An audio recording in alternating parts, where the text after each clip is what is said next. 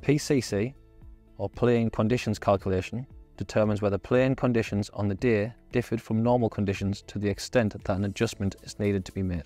The number of shots needed to compensate for PCC varies from minus one if the course is playing easier to up to three shots if playing more difficult.